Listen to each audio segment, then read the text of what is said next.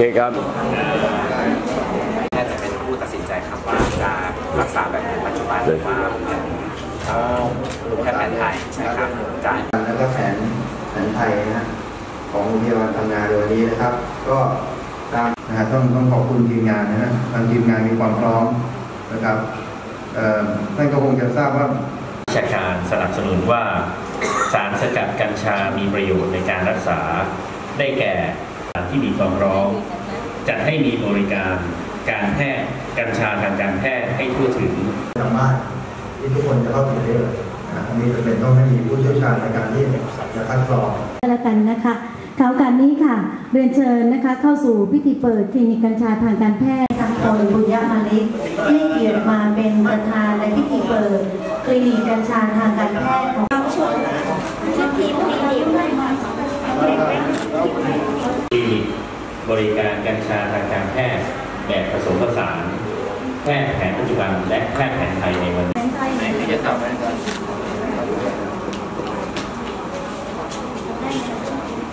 นะคะใช่ค่ะแต่แต่แต่ว่าจริงๆก็คือถ้าผู้ป่วย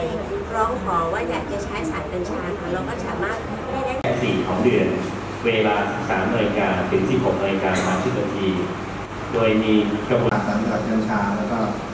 มุนไพรกัญชานะครับเอ่อในบริเวณนะครับมีความต้องการนะฮะของเอ่อประชาชนแล้วก็ผู้ป่วยนะฮะจำนวนหนึ่งที่ต้องการการเข้าถึงการบริการเอ่อการบริการของวันที่2กับเป็นวันอังคารที่ 4 ของเดือนนะคะ เพราะฉะนั้นวันอังคารที่ 2 ก็จะตรงกับวันตัดเลยกันได้เลยค่ะ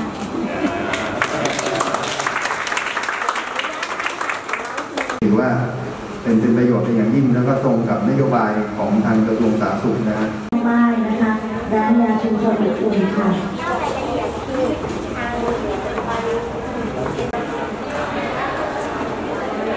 โอเคครับในนามของคณะกรรมการพัฒนาระบบบริการสุขภาพ สาขากัญชาทางการแพทย์และสมุนไพร ใช่ไหมคะมาจากตรงนั้นเลยค่ะอ่าเรียนเชิญ มานะคะ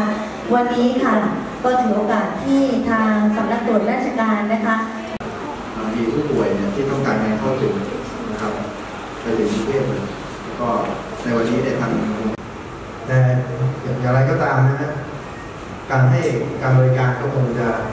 ต้องมีผู้เชี่ยวชาญถ้าเกิดว่าเป็นมะเร็งระยะสุดท้ายมานี่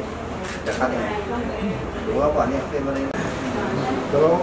แล้วคนคัดกรองอยู่ไหนล่ะใช่แต่คัดกรองผู้ตรวจนี่ไม่ของจังหวัดพังงานนั้นเรามีโรงพยาบาลทั่วไปทั้งหมด2แห่งด้วยกันนะคะ โรงพยาบาลตะกัวป่าเปิด เพื่อจะได้เป็นปฐมฤกษ์ว่าเราจะได้มีคนไข้ที่มาใช้บริการมากนะคะ น่าจะเป็นอย่างนั้นนะคะคุณหมอเข้าเลยก็เดี๋ยวอีกสองสูตรอาจจะจะทำเรื่องซื้อกับโรงงาน แล้วท่านผู้ตรวจไปดู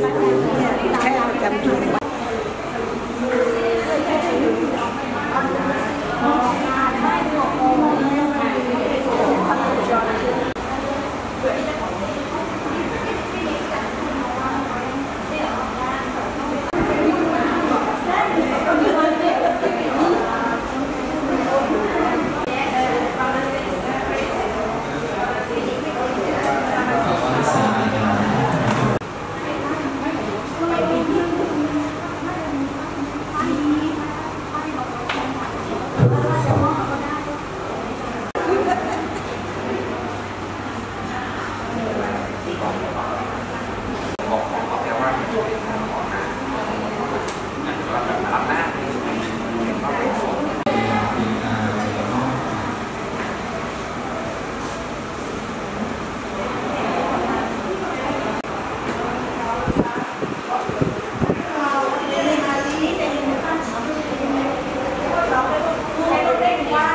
ก็ คือว่าทางกระทรวงเนี่ย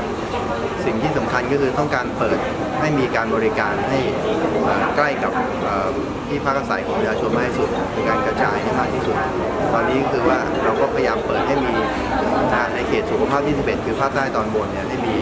การบริการในทุกโรงพยาบาลจังหวัดนะฮะอนาคตก็จะขยายเข้าไปอีกนะฮะคือพอมีการเปิดแล้วเนี่ยนะฮะประชาชนเนี่ยก็สามารถที่จะมาติดต่อ นะครับสิ่งสำคัญก็คือว่าต้องมาลองคัดกรองดูก่อนว่า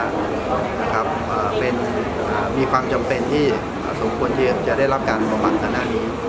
นะฮะอย่างปลอดภัยนะครับเมื่อมีความจำเป็นแล้วเนี่ยก็จะได้พบผู้เชี่ยวชาญในการให้คำปรึกษาแล้วก็นะครับให้การรักษาอย่างถูกต้องนะครับ